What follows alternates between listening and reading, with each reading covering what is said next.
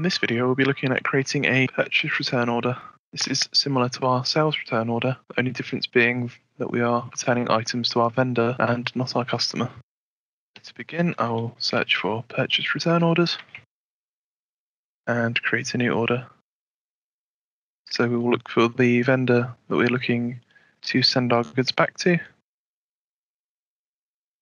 And we can use our return reason code to determine why we're sending our items back or returning our services, which can be set up from the line.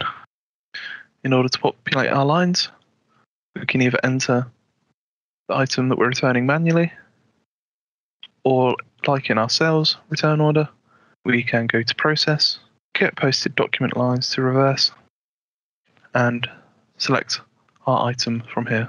On here, we can select show reversible lines only and can set a document filter.